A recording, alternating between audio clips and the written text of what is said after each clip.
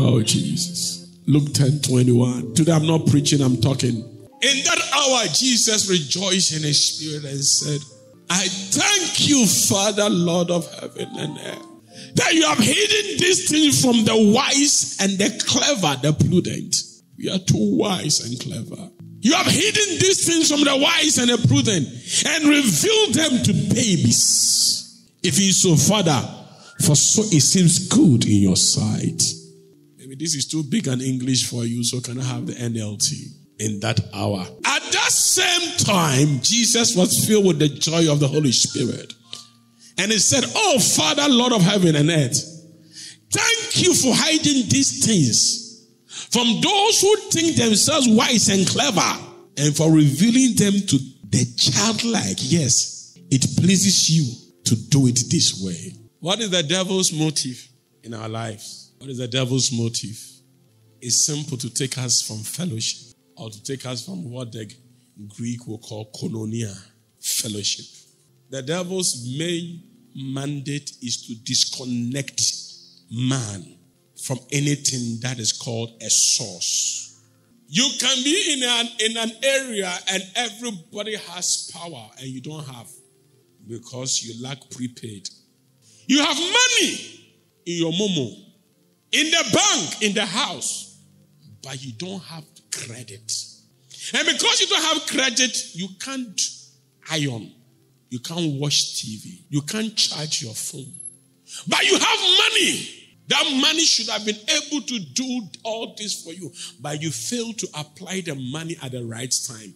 Many have disconnected from God and they only look for God when they can't apply God at that moment because God cannot be applied now. God must be processed. Being close is not being anointed. You can be close to God and yet useless in the sight of God. This is a serious one. You can be very close. We call it proximity. You are very close and yet irrelevant. So it's like you have the money, but now you have to go to town and go and get prepaid. Or you have to go to town and maybe the prepaid people have closed, but you need it now. So you know what you do? You go and look for somebody who has power. So you are looking for somebody who is anointed. But God is your friend. But you have failed to apply God where you needed God most. Peter was close to Jesus. He was holding him. He was guiding him. Jesus even came to his house to eat. But yet, a woman from nowhere premeditated her thoughts and said, If I can touch Jesus, I can be made whole.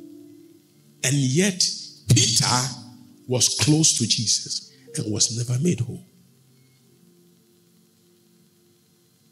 Why is it so?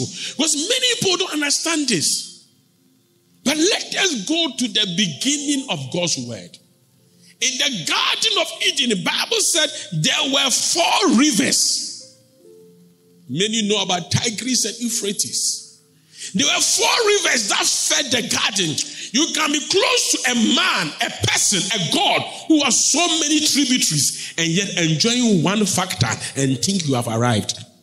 There were four rivers that God, when He made the garden, four rivers were watering the garden. The fifth one had not yet been made. There was a fifth one, which was not a river, it was called rain. And that one, God was never going to bring it until man had decided to do the obvious to plow or to pray.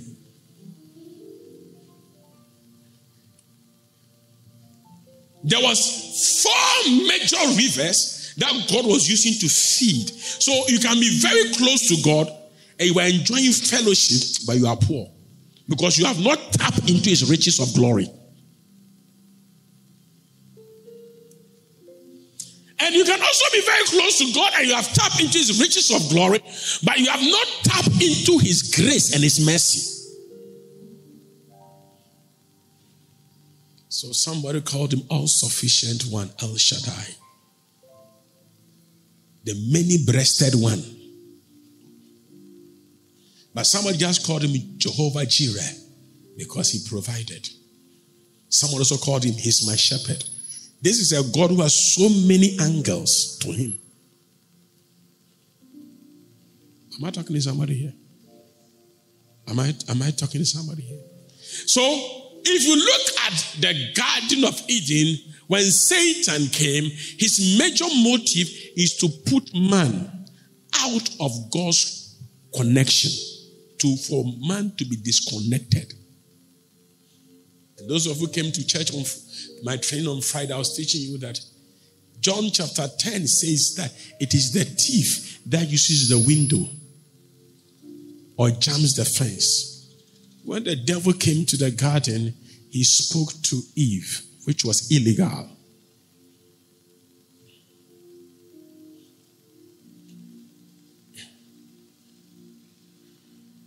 I have daughters today who I had control on. But the day they married, I no longer have control. There are certain things I must ask their husband because that is the doorway to them. I have one daughter who is not minding me, she's here. And I've been talking to the husband, the husband is here wearing a cap. The husband is not minding me. If it was those days, I would have beaten that my daughter and I'll be on social media. When Satan came to the garden, he went straight to Eve. Why do you go to Eve? Because Eve is vulnerable. He didn't go to Adam, he went to Eve. And Eve listened, enjoyed that seed, and gave it to Adam. And I've taught you this that Eve was bewitched. But Adam was not bewitched. Adam made a decision.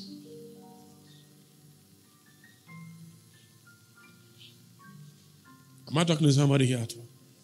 It was a choice. And every choice you make as a human being, God cannot do anything about it. It is your choice. God watched as Eve ate the tree. Adam ate some. And God, when they are finished, God said, Adam. Now, anytime you see that God is not talking to you, but is asking you a question, you should know you have missed it. God, you see, God should not be somebody who should ask you a question. He should be able to be bold enough and tell you, come. If I come and tell you, are you busy? It means that I am not having that rapport so it's like I need a permission from you. So when God came to the garden, look at the read your Bible. All along, when God came to the garden, He said, Adam, do this. Adam, go here. Adam, get this, do that. But for now, God came and said, Where are you? Now, God, don't you know where I am? Why are you asking me, Where are you? Because God can see that even though you are close, you are hiding.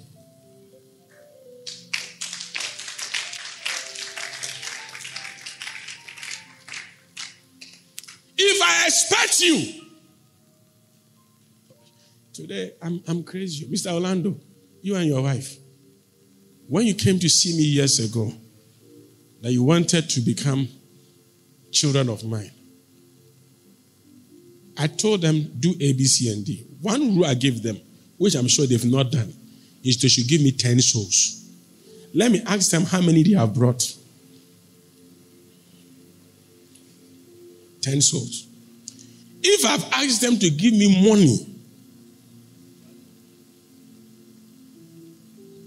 if I've asked them to do something which is fetish, akwanchere, they would have done it. But I said, win 10 souls. Now, someone say, why 10 souls? Let me tell you this. Can I have your attention, everybody? After God gave to Adam, God has stopped giving to man. Listen to this carefully. Man gives to God, God makes man. He doesn't give. What's the difference? So God told Abraham in Genesis chapter 12, Leave your father, your mother, and come to me, and I will make you, I will make you a great nation. Now, when I want to give you, it is instant. But if I have to make you, it's a process. He gave Adam. Adam lost it all.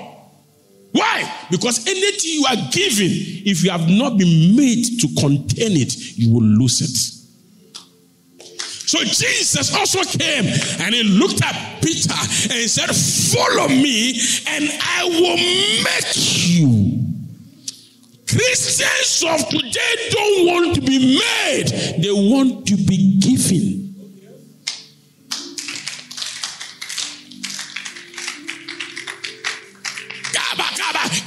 If you give me somebody who will take me out of my trouble, some rich man who will come and marry me, Lord, my life will change. You marry the man two days, you are out of the way.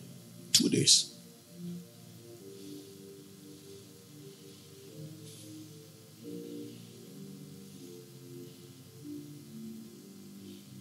You can get a car today, and three days you lose the car. Accident, bang. If you if you are not careful, your legs will be cut off in addition.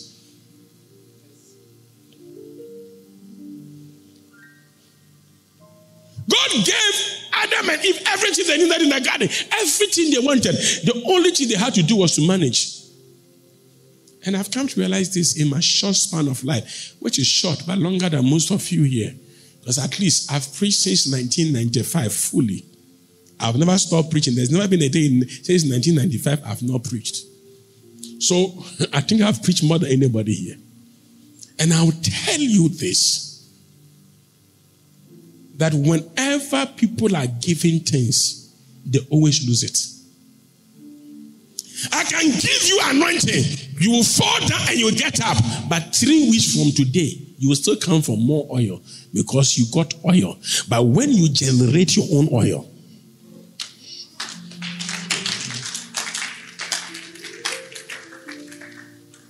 I think I'm not preaching well here. The woman came to Jesus at a well and said to Jesus, Jesus said, Can you give me? That's what happens in church. Can you can I have your cup to fetch water? The lady looked at Jesus from head to toe. Are you my size? Are you my level? We don't flow. You are you are Jew, I'm Samaritan. You want my cup. If even you touch this cup, I can't use it again. You want my cup to fetch water. Jesus said, You always been coming here to fetch water, right? I can give you some water. That if I give you this water, you will not have to travel again to this well to fetch water. He said, He that believes in me, out of his belly shall flow a river of living water. And the woman said, I am tired of well. I want river. Many Christians have stayed at Oh, God, forgive me. Well, you are enough. You have stayed at gutter level Christianity. Gutter, where you catch panla fish or golden fish. You know that kind of stream that passes in front of your house that you put hook in to get fish. That is the river you operate in. And that kind of river, fish doesn't flow through until it rains. How of you ever did that kind of journey when you were young? You go on the street looking for fish and you do some net here, some bot, a bottle here, you cut here, and the fish enters and you catch it and say, oh, gata, gata fishing. The woman said, I've been coming to a well, and you said, What? You give me what? A river in my belly. The woman now forgot that. You see, she was holding a cup. And he was saying that you were at a cup level of your life. You know what is happening? Don't be too arrogant. Where you have arrived, you have scratched nothing. Don't think because of where you are, you have arrived anywhere at all.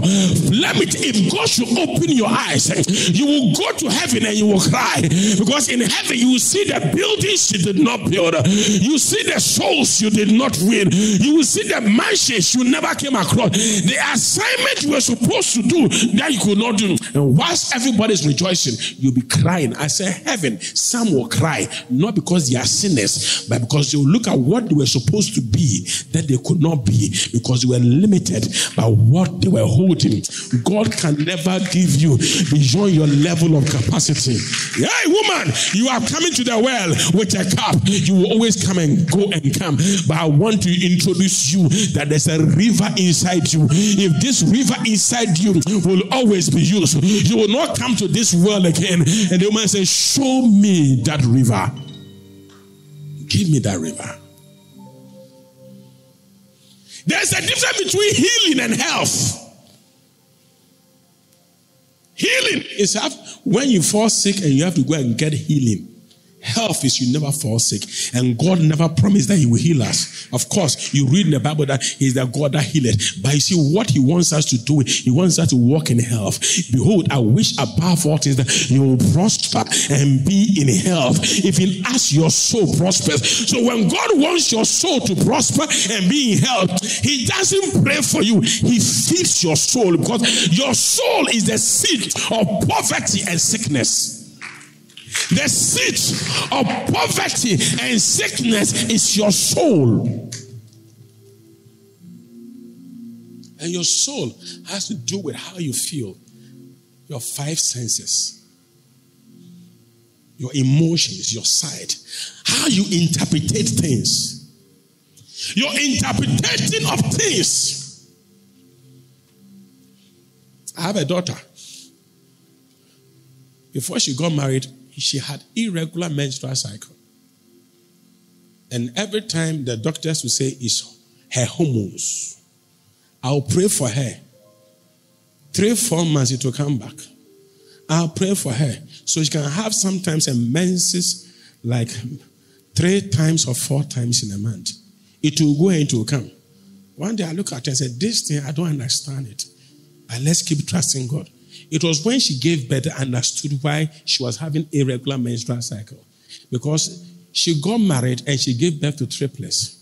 And the doctors didn't understand because she releases more than an egg um, in a month. Every woman releases one egg. She releases three eggs in a month. So whilst I was praying, I was binding something that God was preparing in her system. You see, when you don't know God's mind, you will always destroy and fight things that God is even using to build you. Because here is Adam. He knew how to solve every problem. Adam sins and he uses a fig leaf to cover himself. God can say, What have you done? For the first time in your life, you have made a mistake.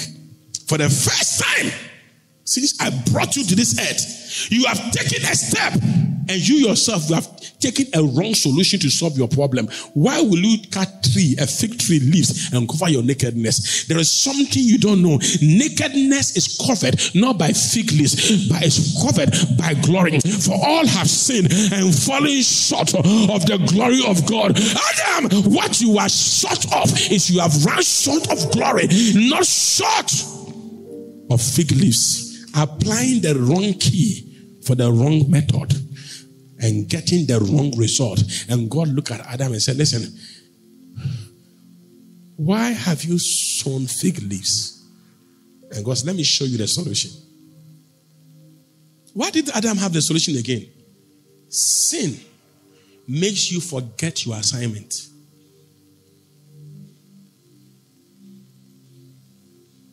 Sin will reduces your glory. Every glory has a weight. Kabod, the weight of the glory. Glory has a weight. Glory does what has a weight. How many of you check your weight? If you check your weight, you will know that your, the dress you wear affects the weight. Your real weight can be determined after you have poo-pooed and wee and you've removed your dress. You see that your weight has reduced. I always check my weight after I've done all those and it always affects it.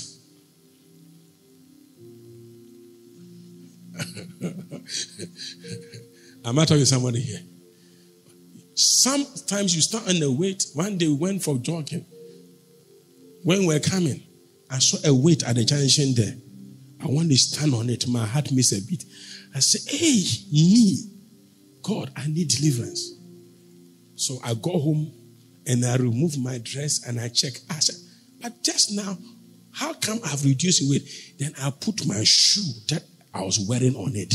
I said the shoe alone was 4.5. Now ask myself, how can I run with a 4.5 weight shoe? And so, oh please, am I am I talking to you? I, am not. I, I don't. And so, if you look at the Bible, the Bible calls something called weight. Weight is different from sin.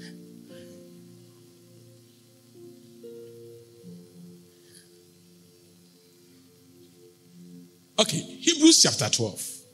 Seeing then that we are surrounded with a great a crowd of witnesses, let us lay aside the sin and the weight, the very weight and the sin which easily ensnares us. What is the difference between sin and weight? Sometimes, you know what we do? The devil has made us to think that when we sin, we'll be forgiven. But what about weight? Weight reduces your speed.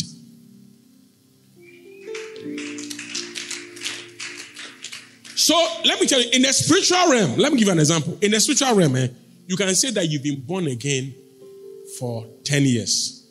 You've been in bridge for four years, five years. But in the spiritual realm, when God is marking you, He will mark you the times you came to church and the word of God took you. The time it took you is the day they mark you. The Bible said the entrance of the word bringeth understanding. It's not hearing it. When you hear, you have not understood. It is when the word enters, it's the entrance of his word that brings understanding.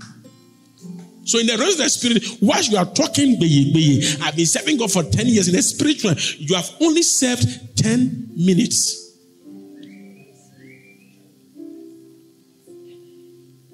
And this register, it is God that marks. Read. The entrance of your words gives light. It gives understanding to the simple. So if the word I'm speaking, if it doesn't enter you, am I teaching here? Where me see me me me media agro.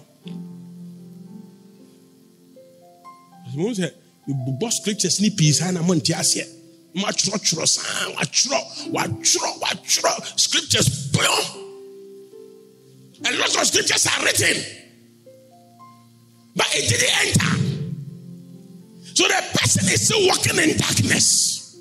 Because what makes you walk in light is when the thing enters.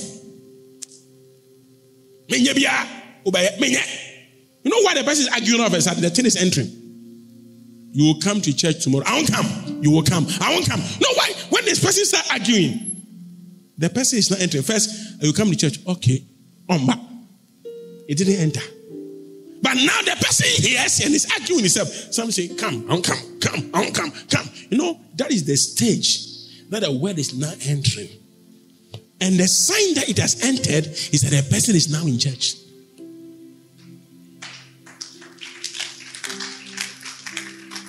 It is not every sperm you put in a woman that brings pregnancy.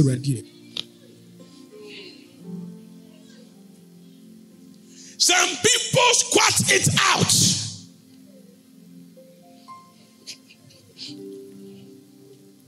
Some people also pull it out. Some people also wear condom. When they finish, they just say, It is the enjoyment. That's why I came to church. Throw it away. So wash your busy. Receive it, receive it, receive it. I just came to Kadosh. I just came to talk to the lady. I just came to have fun. I just came to enjoy myself. Now that I've done everything you have said, ah, I won't keep it.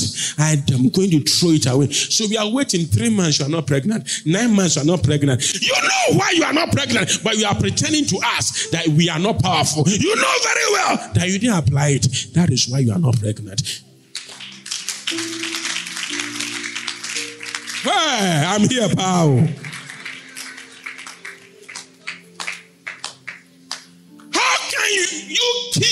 And get pregnant. I just gave you a hug. You say you are pregnant. Some people, the thing is that God never got them impregnated. It is their devil. They are just putting things on God. I've served God. I look at my life, I'm suffering. This pregnancy, the baby doesn't look like God.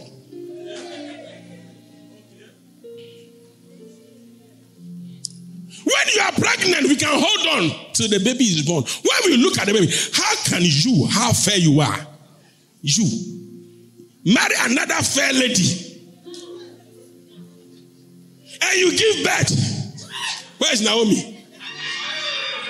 And the baby looks like Naomi. You see, once the thing is in the belly, you keep quiet. You wonder whether the kiss did the work, whether the hacking did the work. But the day the baby arrives, you look at the product and you say, No, this one, dear. Now I need DNA. And some of you, the thing you are blaming God of, God looks at you and say, "You mean since you serve me, this is what I've done to you. Stop that lie. At least that shall not bear false witness against your neighbor. At this rate, you are bearing false witness against God." I'm.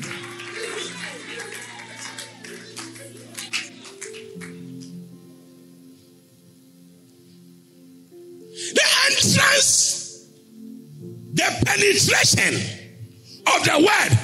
Jesus said, The word is the, the seed. Sometimes we think we have sown seeds, we are watering, or oh, join a department, or oh, do this. We say, We call you, will you be in church? Let me pray with you. We are watering satanic seed. Your, your method of being in church is a give me mentality. When God wants to make you, you are thinking about give me. I should be married. I should give birth. And most of people won't give me. The thing they request for is like an uneducated illiterate. Listen, an uneducated illiterate who wants to pilot a plane.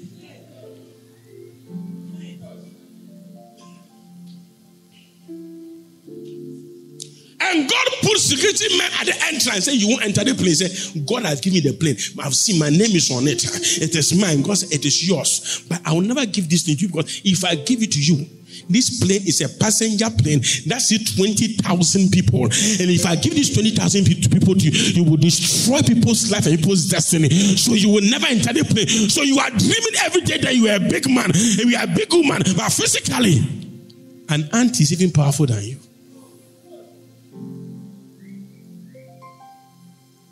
Because let me tell you, the spiritual realm is a different realm than the physical realm.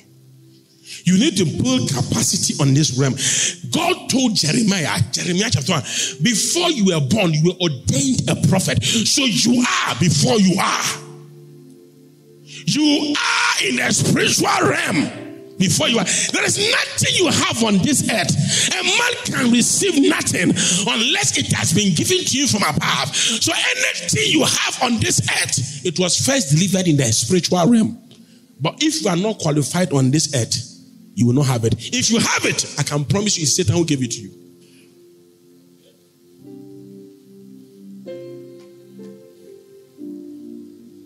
I think I'm not teaching.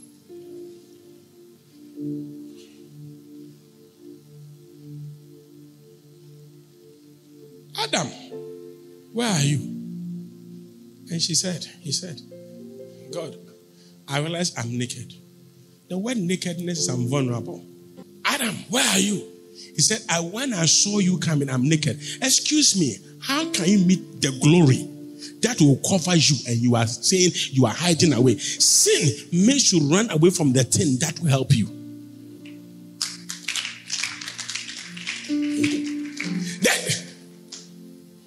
Have you seen?